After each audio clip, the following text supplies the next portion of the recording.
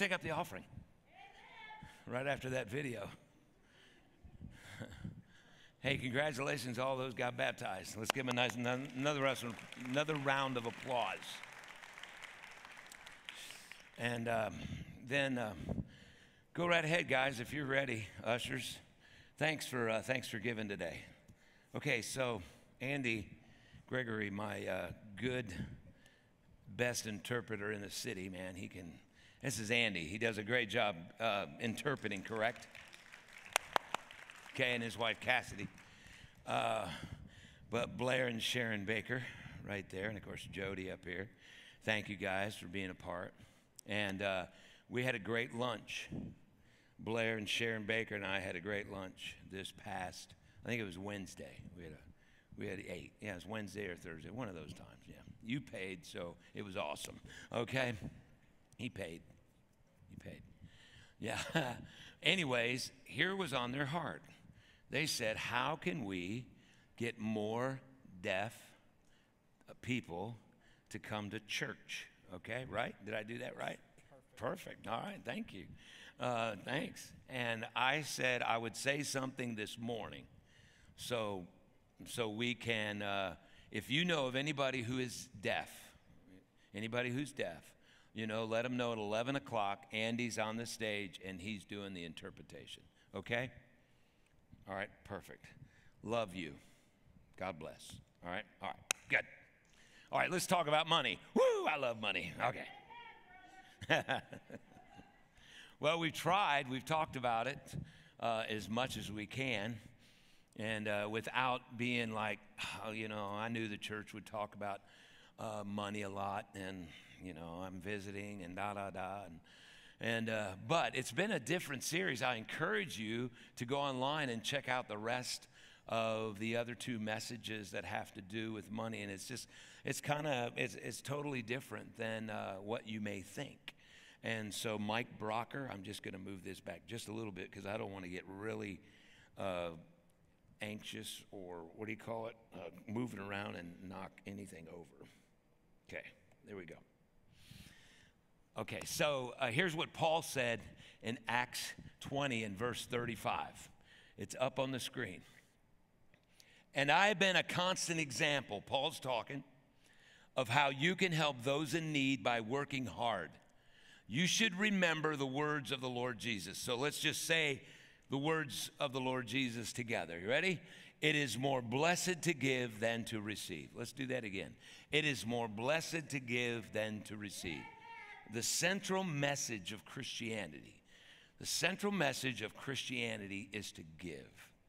Everything that God created or God designed was created to give. Everything in God's economy was created to, in this cycle uh, of giving. The sun, even though it's 105 degrees out today, I love the sun. I'll take the sun over 30 degrees below zero any day of the week. I love the sun. The sun, they tell us that sun makes us feel better about ourselves. It puts us in a good mood. If you don't, if you don't overdo it, of course, you know, and it, it helps in your immune system. It, it, builds your immune system up. The sun, this thing, God created the sun you know, and it's burning 24 7 and it's keeping us warm around the world. God created it. He created everything that God designed was created to give. The stars give, the moons give, uh, the planets give, plant life gives, animals give, you know, everything. Uh, you know, even uh, as we were created on the sixth day, human humankind, mankind, you know, we were created to give. That's how God designed us. Now, you may not know this name, and you may have heard this name in the past few days but his name is Antonio Basco.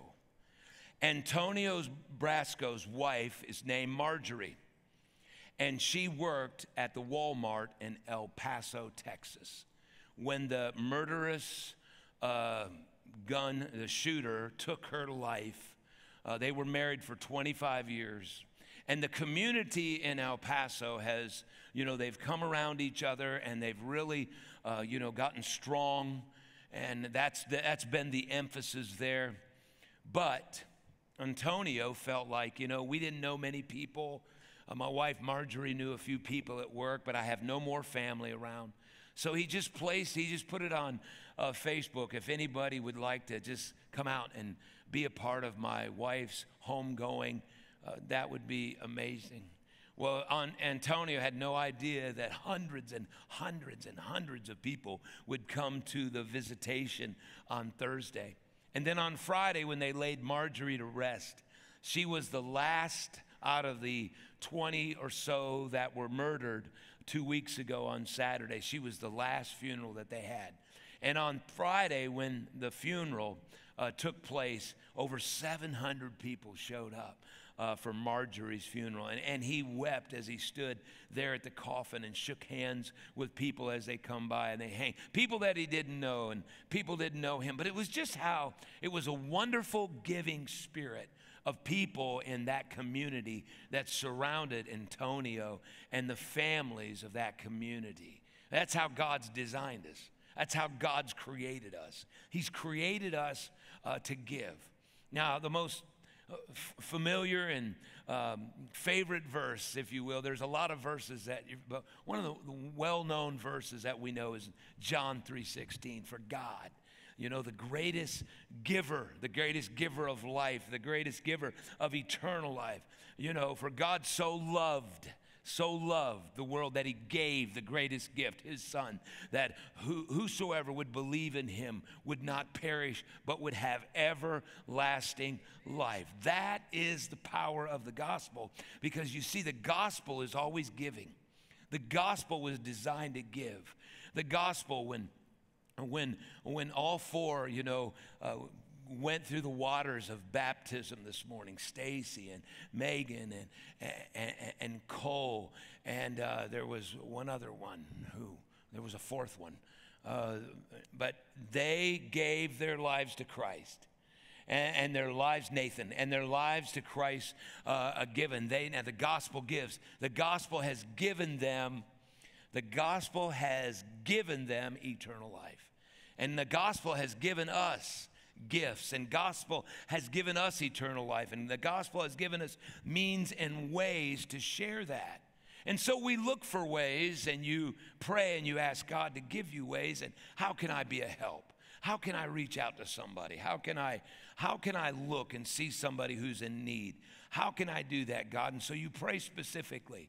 It might be in an event downtown. It might be a concert that you've attended or a sporting event, and, and you walk out and you see that person, you know, they're holding that little cardboard sign that says, God bless you. You know, I'm in need. I'm hungry. Please help me. And you reach into your pocket. This is a means and it's a way, and you may give that person a, a, a few dollars that you have, or you drive up to a, a stoplight or to a stop sign, and uh, that person, there's a person standing there and they've got a little cardboard sign and, you know, you reach into your pocket and you roll your window down and you say, here, you know, here, here, here's a, here's a couple dollars. Here, here's something, you know, I, I, I want to help you.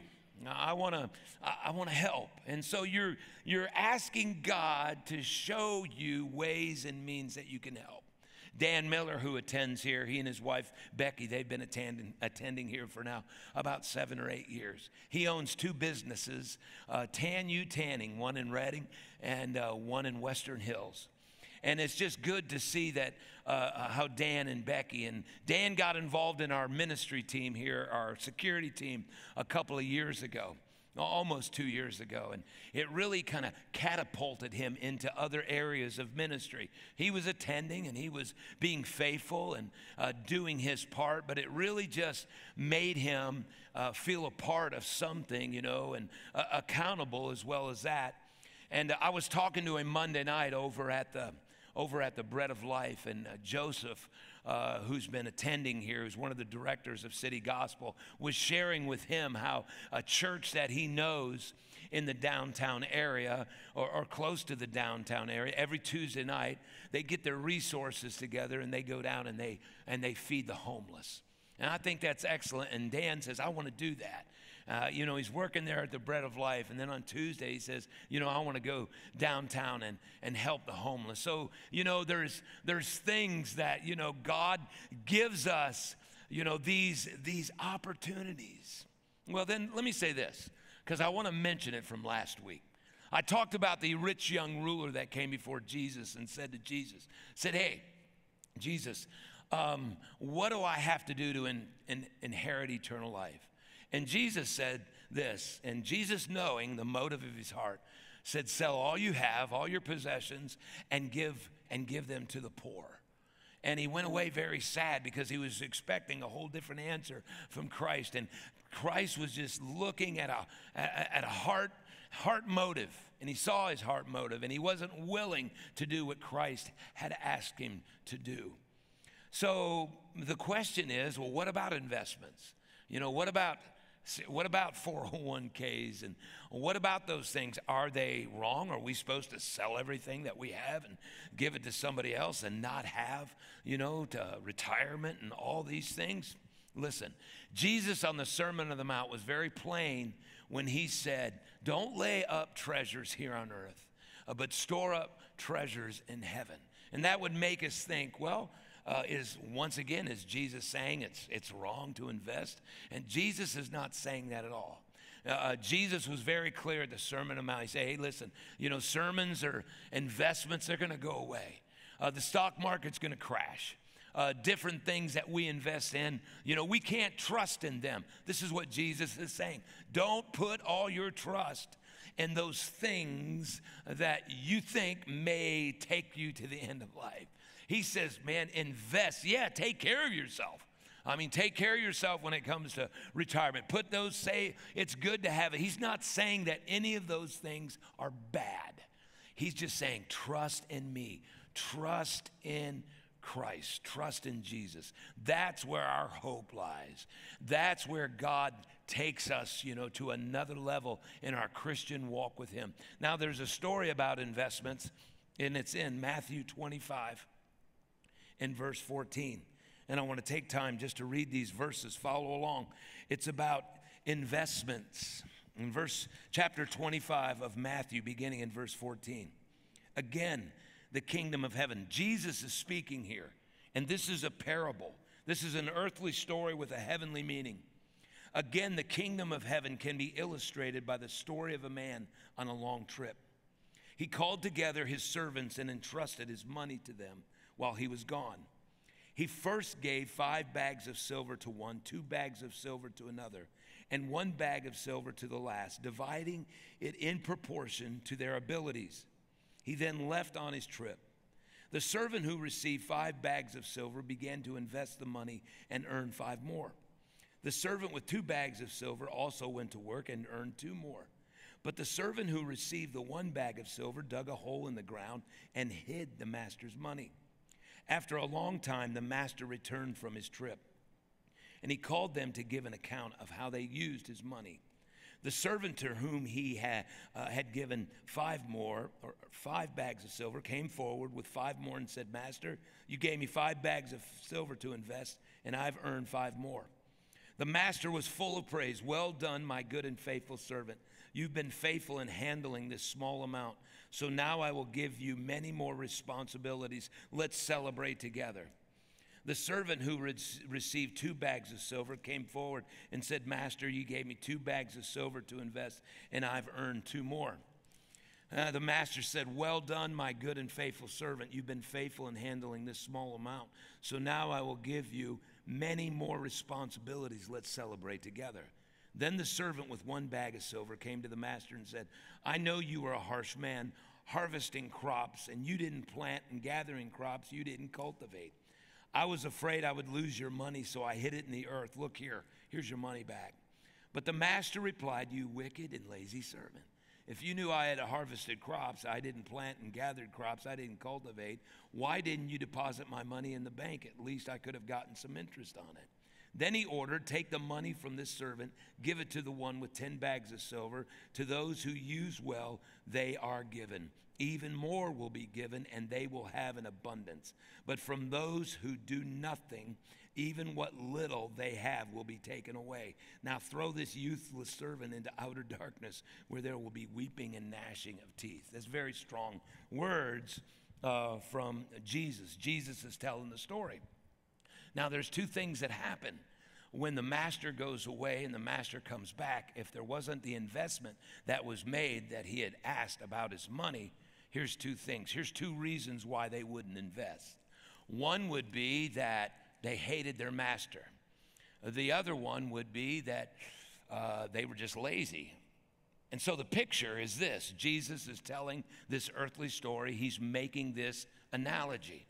And he's comparing the master to you know, to himself as the Son of God, who the Holy Spirit gives us who have received the gospel many gifts and, uh, you know, talents and those things that uh, God has given us to use, to use amongst the body of Christ, to build each other and to encourage uh, one another. And so it's Jesus, really, the master who's going away, this master who went away on a long journey. Now you put Jesus in this place, who is the master. He has went away. He's gone away on this long journey. He was there in Matthew 28 when he told his disciples, he said, I'm leaving. You go and teach and preach and baptize those in the name of the Father and the Son and the Holy Spirit. And I'm going to be with you always, even unto the ends of the earth. What he was saying is, one day I'm coming back. So be about your father's business. Just as Jesus said when he was 12 years old in the temple, and he astounded those uh, priests and prophets that were listening to him, and those, uh, you know, of that uh, upper echelon listening to him teach at 12 years old. He said, I've got to be about my father's business and I want to be about my Father's business. If God's given me abilities and God's given me these things and these gifts, I want to take these because I know I'm going to be responsible for them, and I want to take what He's given me and to help others. So the, the it goes like this the master gave the one servant, he gave him uh, bags of gold, five bags of silver. Your, your and your, what's it called, translation, uh, it, it, may use the word talent. A talent was uh, a uh, hundred pieces of silver. And so in that bag, there was a hundred pieces of silver, and he had five bags. So he had given that to the first servant. The servant went out and he invested it, and he came back with five more. And in verse 21, the master, when he came back, he said, Man, he was full of praise. Well done, thou good and faithful servant. You've been faithful in handling this small amount, so now I will give you more and more responsibilities. Then the one that he had given two bags of silver came back and he invested. He had two more. He had doubled his investment brought it to the master, and the master said the same thing in verse 23. He said, Well done. He was full of praise, thou good and faithful servant. You've been faithful in these smaller amount, and I'm going to give you many, many more responsibilities. Then the one who was given just one bag of silver, he took the silver and he went and buried it. He went and buried it. And so the question is, man, I don't want to bury the gifts that God's given me. I don't, in layman's terms, I, I don't want to sit on them. You know, I want to, I want to be, I want to be doing something. I want to be about my Father's business. And Jesus was very harsh on the one who didn't take the gifts that he had received and the responsibilities was not going to be anymore. Matter of fact, he was take he took away the silver from him and gave it to the one uh, with five bags who had now had ten bags of silver. And the responsibilities, the more I'm giving you more responsibility. But to this one, I'm cutting off. He's cutting me off by not using the gifts that I've given him. Man, Jesus was so, uh, this is all, uh, it's twofold. I mean, the investments, nothing wrong with making the investments, but it also has a spiritual application in the gifts that God has given us and the love that He's given us through the gospel of Christ to give. Because listen, everybody wants a return on their investment. Everybody does. Um, the farmer, when he plants, and I love going to Indiana to see my parents and, and uh, the corn right now, man, it is so tall. When we were just, you know, a month ago, it was knee high, waist high, but now it just, it towers and it's just rows and fields of corn. It's, it's, you can taste it, you know, so I just, I pulled over to the side and I said, Joy, just a second. I got out and I started snapping about 20 pieces of corn off, you know, and put it in the bag and I brought it back. I'm just kidding. I didn't do that, y'all. If you, I wanted to. If some of you have done it, you need to take that corn back, all right? And you take it back and just throw it back in the field and ask God to forgive you. Uh, I'm just kidding. But, you know, when a farmer, you know, he cultivates and he, he tills up the ground, he plants a seed, he expects to reap a harvest. What that farmer sows, he wants to reap. My wife put a garden out this year. She's always talked about, I want a garden, I want a garden. And, and I, you know, I, I wasn't very helpful, uh, you know, because I know a garden takes a lot of work. You got to get out there and you got to weed the garden and you got to work it. And I just said, man, I don't know. But she said, I'm going to have a garden. She was determined to have a garden. So, man, we've got cucumbers and, and, and, tomatoes and parsley, parsley, pers, par, par, what is it? Basil, basil, uh, basil and and paisley and whatever. It's it's good. I think you can smoke it. I'm not real sure, but it's really good. And we got tomatoes and we got beans, and it is. I water, she weeds. You know, and I don't I don't stand here like this and do this number. It's one of those things, Joe, that goes like this, back and forth, back and forth. And I just sit in a chair and we talk, you know.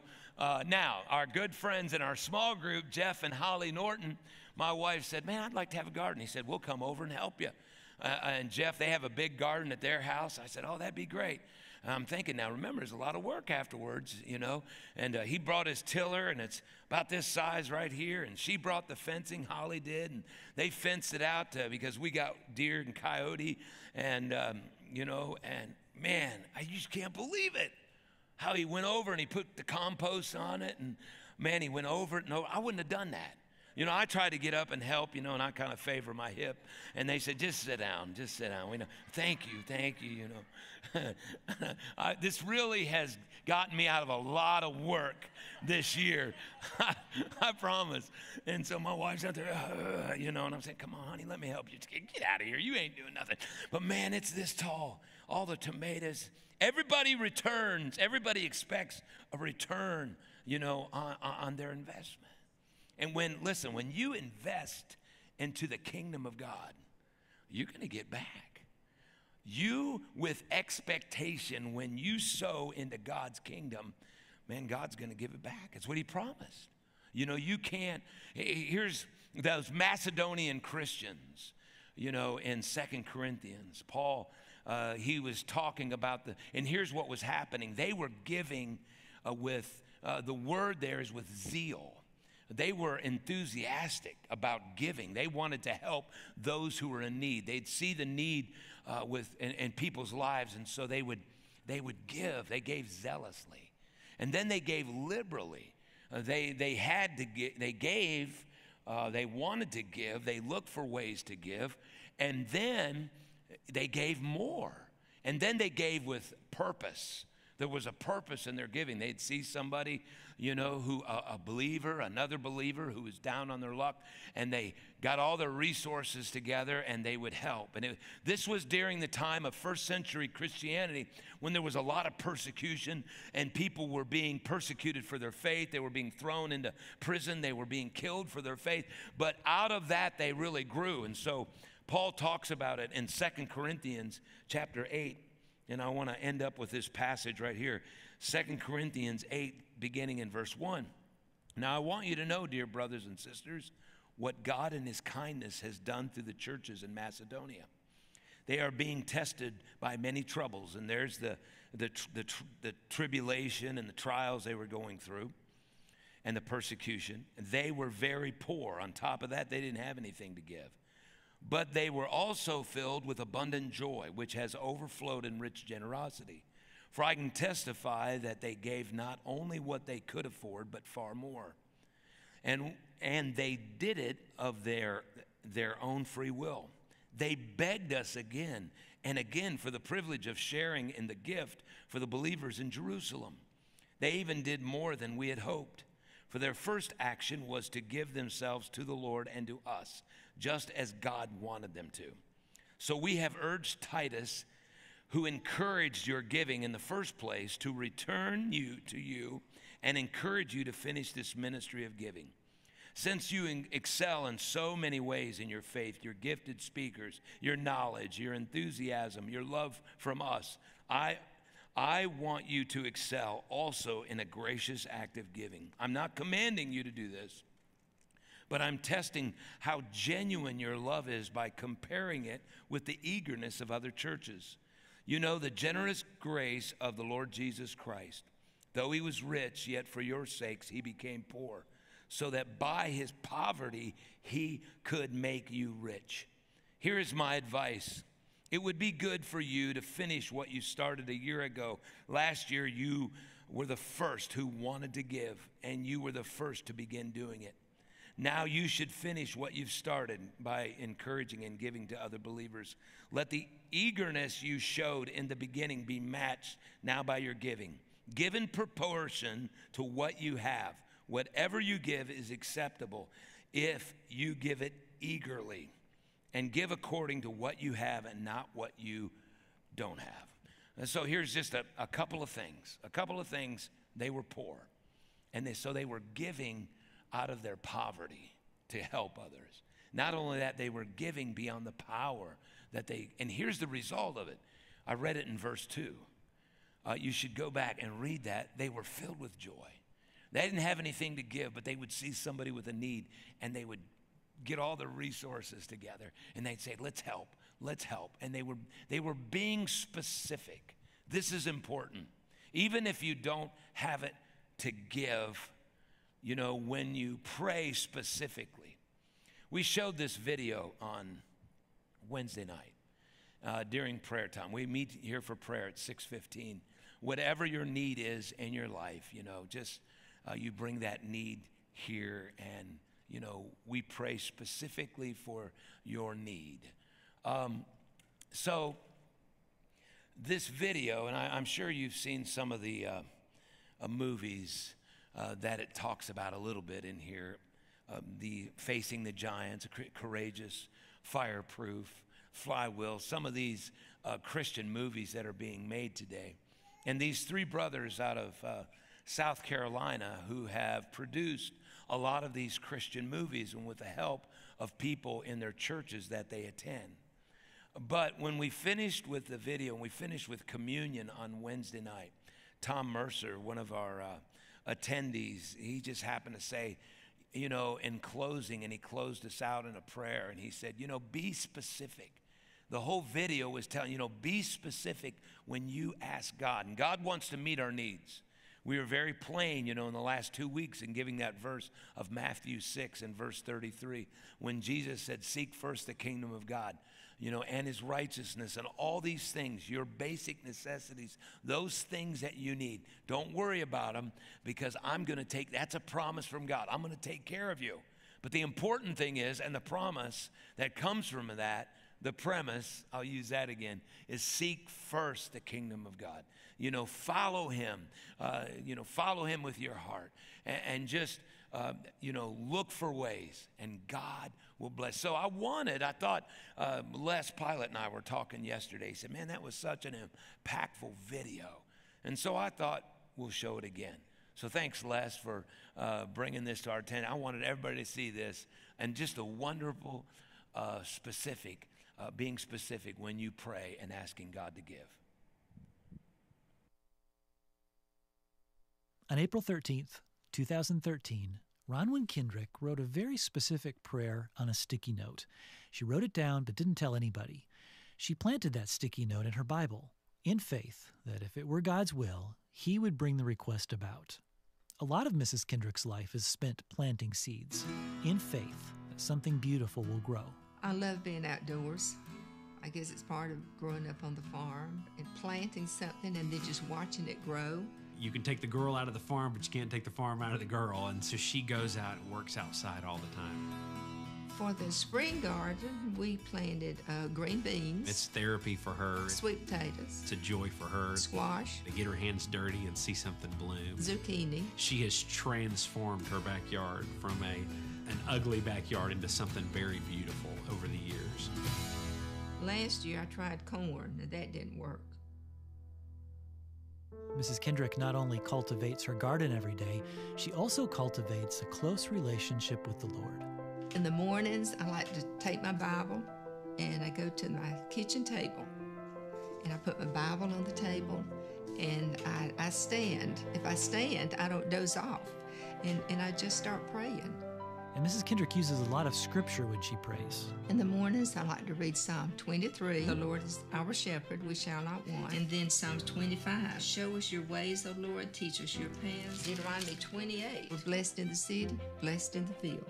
Blessed is the fruit of our body. The verse is in Psalm 34. I will bless the Lord at all times. His praise shall continually be in my mouth. They that seek the Lord shall not want any good thing. Psalm 37. Delight thyself in the Lord. He will give you the desires of your heart. This is the day the Lord hath made. Psalm 118. We will rejoice and be glad in. Isaiah 54. All your children shall be taught of the Lord. I've been quoting this for years. Galatians 3. Christ has redeemed us from the curse of the law. Psalm 91. We will say of the Lord, He is our refuge. He covers us with His feathers, and under His wings do we trust.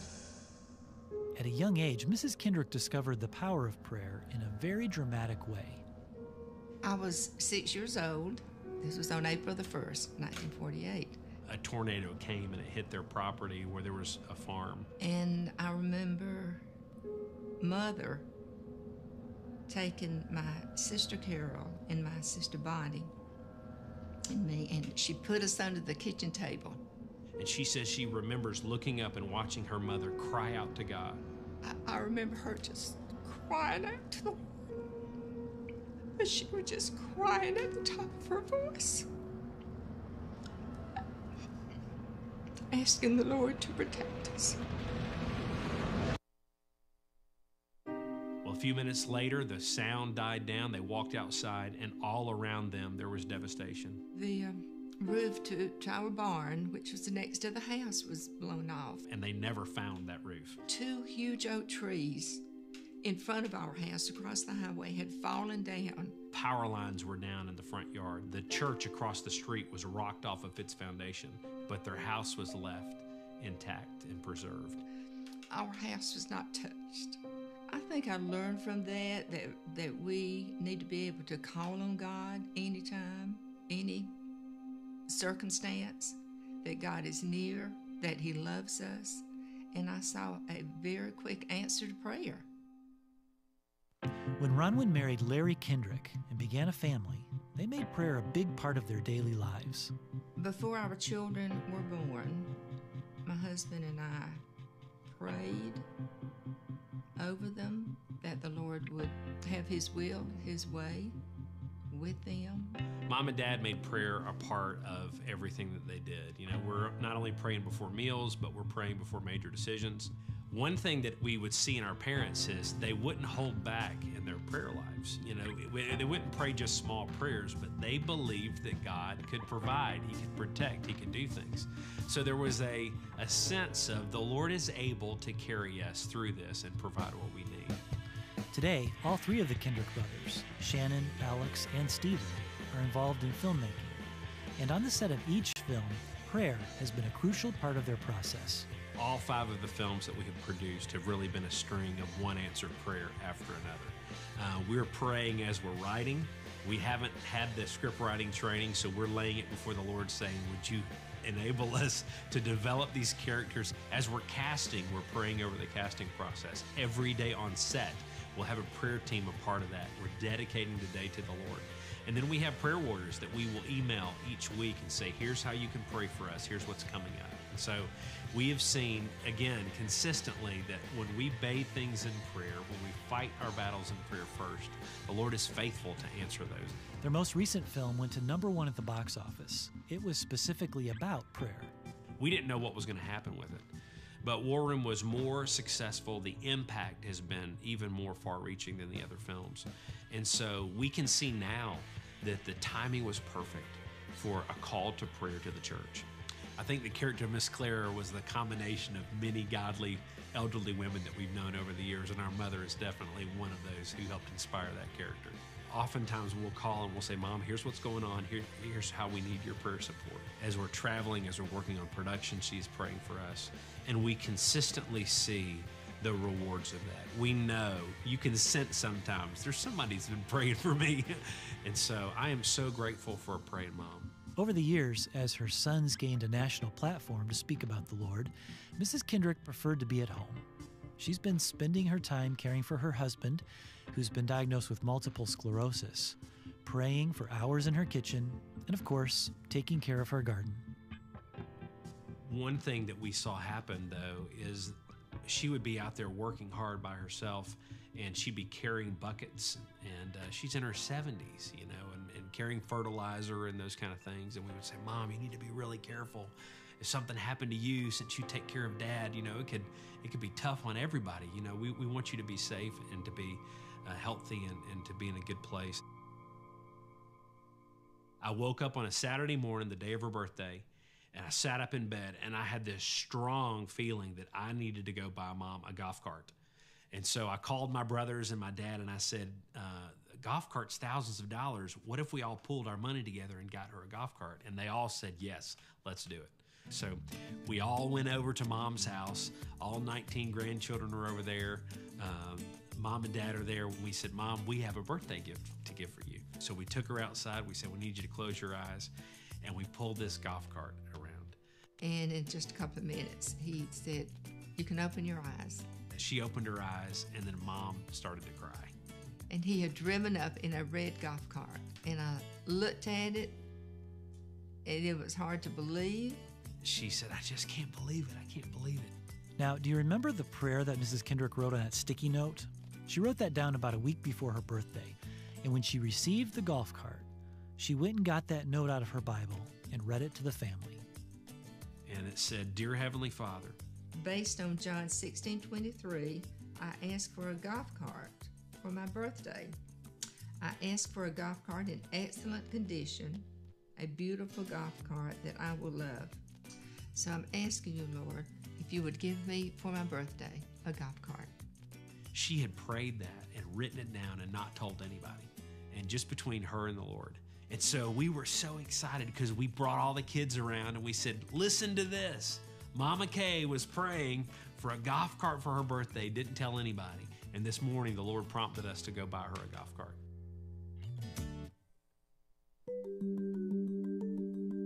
You've been hearing a story of one specific answer to prayer, but what's striking when you get to know Mrs. Kendrick is that this kind of thing happens all the time. She has a lot of stories of answered prayer, just like this golf cart. The golf cart story just illustrates a bigger principle that God hears our prayers. And Mrs. Kendrick and Stephen both realize that we need people who will be crying out in prayer like never before. I believe that God wants women to pray over their homes, pray over their husbands, to pray over their children every day that God will have His way, will have His will with us. When we look at our country, we look at how dark our world is right now, how the church with broken wings is sick in so many ways. And it is for such a time as this that I believe the Holy Spirit is calling people and calling women back to prayer for their husbands, for their children, just like our mom has done for our father and for us over the years.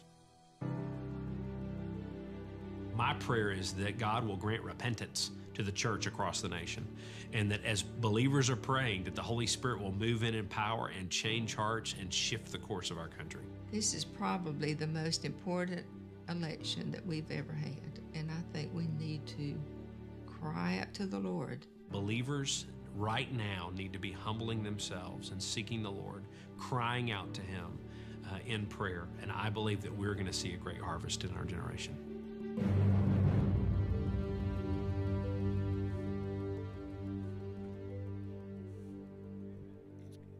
Let's stand together.